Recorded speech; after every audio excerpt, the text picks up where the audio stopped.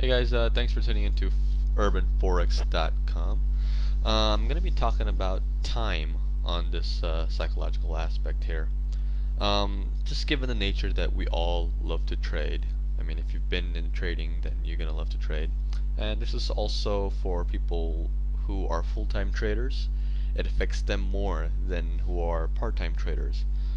Uh, I'm going to start with the full-time traders. Um, one thing that you've probably noticed before you started into the forex market as full-time, when you were there on part-time and you demoed and everything, you were doing quite well, weren't you?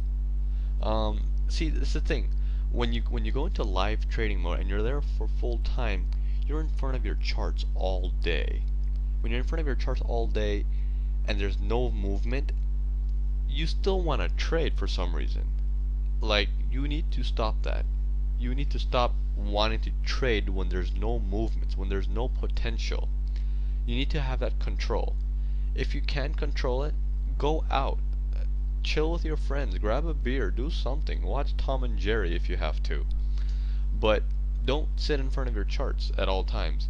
Another thing is that stop trying to scalp the market on 1 minute and 5 minute.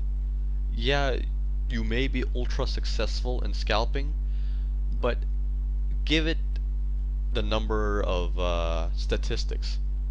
Majority of people who scalp, they do not make it. Use that statistics, put it in your head. Are you gonna be that 2 or 3% who do make it by scalping? Think about it. If you want to take that risk of the remaining 98% of your capital to become that 2%, go for it. But until you're not that confident, leave it. Go on a higher time frame if you're doing technical trading, you're following indicator, you're doing all that stuff, it holds true on a higher time frame. It, they're more accurate on there. And additionally, when you trade, let's say the 4 hours, the daily, the weekly charts, what you're doing is, first of all, you're eliminating your time in front of the screen. That's good for your health, obviously. Second of all, you're you're not always stuck to the screen. You're checking back every now and then, and like if it's on a four hour chart. You're checking back every four hours. Your mind is fresh. You're thinking about your rules because you're coming back every four hours and you're you have a set category in your head that okay, I'm looking for a moving average crossover, I'm looking for this, I'm looking for that. But if you're constantly on your screen, you don't go through your rules anymore. You go through your rules once, twice, and the third time you go through like, oh, I think it's gonna go up, or I think it's gonna go down. No, you, you need to stop doing that. So stick to a higher time frame. It it holds more strength. It'll help you out. You'll avoid sticking in front of the screen, and your kids won't get mad at you if you have kids. So that's another thing too. Well, I'm getting a little personal, but anyways, um, now regarding for those people who are part time, just if you have a right strategy, you're you're on the right path. I mean, if you're doing it part time, because you're not you're obviously not spending so much time on your forex. I mean, I have a friend. Uh, who's a university student and he trades he trades forex as it's, it's his full-time income but he spends less than his part-time amount of time on on his trading. Why? Because he comes in and he trades the daily charts. He lives in New York he comes home gets on the market trades around 5 or 6 p.m. EST time Eastern Standard Time looks at the charts and then he makes a decision. If he doesn't see as a trade he leaves it.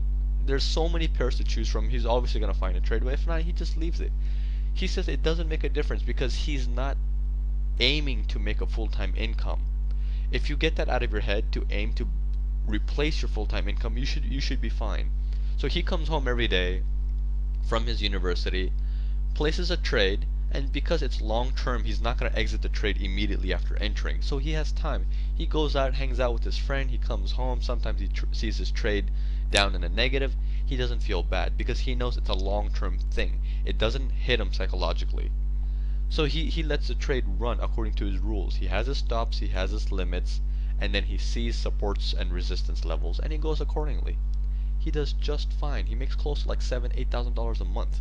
I mean, that's decent. I mean, if you're aiming more than that, then obviously, you know, that's a different case. But that's a decent decent income in uh, today's economy with all that recession and job cuts going on.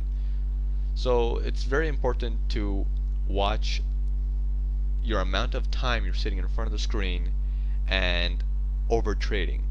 Because you might get a good trading day today but I can't and you can't say that about tomorrow. Something might be choppy the news might come in. But if you're on a daily daily chart or a four hour chart you know all the stuff this extra little nonsense gets filtered out because you have wider stops you have wider take profit limits so you get rid of most of the nonsense and you're just focusing on technicals at that point. So that pretty much concludes uh, your time on the forex market. Um, it's very important to do that. So uh, thanks for tuning in.